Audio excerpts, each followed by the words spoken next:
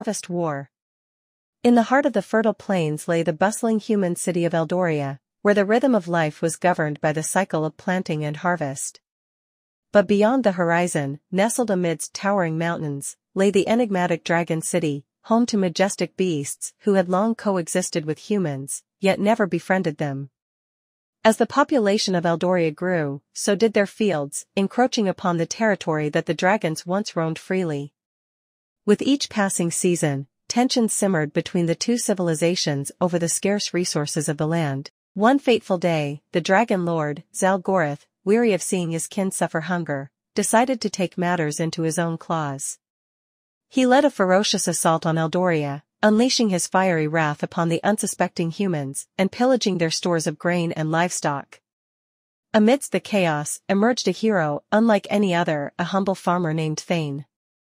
Determined to protect his home and loved ones, Thane rallied the people of Eldoria, forging them into a formidable force against the dragon onslaught. In a climactic battle that shook the very foundations of both cities, Thane faced off against Zalgoroth in a duel of strength and wit.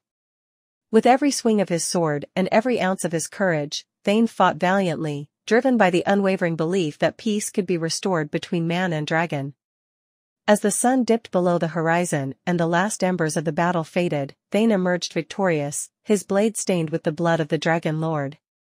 With their leader vanquished, the dragons of Dragon City bowed before Thane, acknowledging his bravery and resolving to seek harmony with their human neighbors. In the aftermath of the conflict, Eldoria and Dragon City embarked on a new era of cooperation and understanding. Fields once ravaged by war now flourished under the watchful eyes of both humans and dragons, as they worked side by side to ensure the prosperity of their shared homeland.